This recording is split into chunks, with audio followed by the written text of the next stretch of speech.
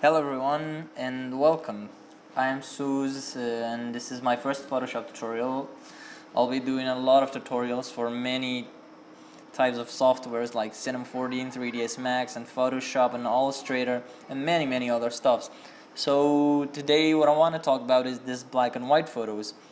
Some photos, I mean I don't there are some photos that are not just black and white. You see this this is all black white black white. See the shadows the shadows are black the windows are white all white.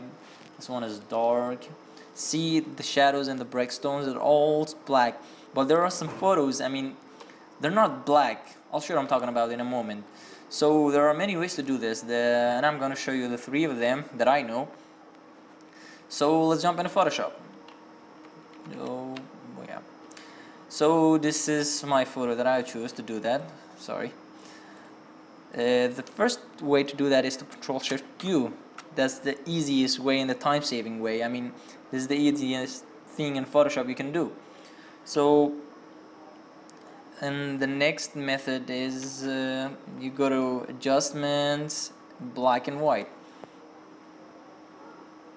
This black and white it has a lot of controls but it doesn't give you the result like this photo. It has a lot of controls. You can do it. You can sometimes it works this way but sometimes it don't. But let me show you the thing that I love. The way that I love to do it is the channel mixer. So this channel mixer is a lot easier. Less controls many abilities. You can output channels. You can edit whatever you want it and the default preset. It has some default preset look at this this. Okay so let's just work on our own. Let's make a preset.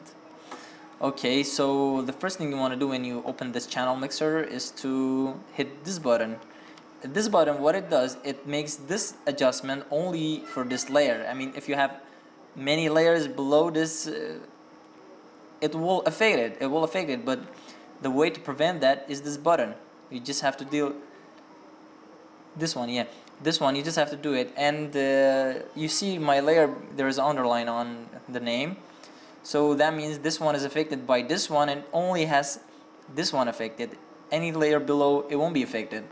So let's do it. Uh, monochrome. And the first thing that I want to do is to adjust the constant. The constant see we're already getting there. I mean nothing too fancy and we're already getting there. We're close but that's not what I want. Okay so let's just make it so white a little bit whiter. And then and then the magic happens. This is I like it this way. I mean it's it's easier and it has so many results and you can play with it later with some uh, curves adjustment and it even better see? It has this is became like a vector. It's like an illustrator no? So so just add some fade on it so it don't kill all of the black in your photo and you'll be able to see everything like this tree see this one? No no yep. This is what I want this is what I want. And look at this. This is curves without it amazing right? So the next thing we want to do is want to control shift E to merge all of the layers so that I can do whatever I wanted with it. Cut it rough it. So to do some highlights on those things those lines and everywhere a little bit we're gonna do something else like control J filter other high pass. This high pass is cool. Sometimes sometimes it's not. It just have to sharpen your photo. So no. Hard mix no. It became artistic. Uh, look at it. So, sorry. Little bit.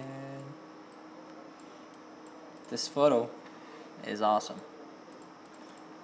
It's awesome. So uh, I hope you enjoy it this is the end. And uh, anything you want me to approach or anything you want to do you want me to do it for you like approach some style anything hit me in the comments.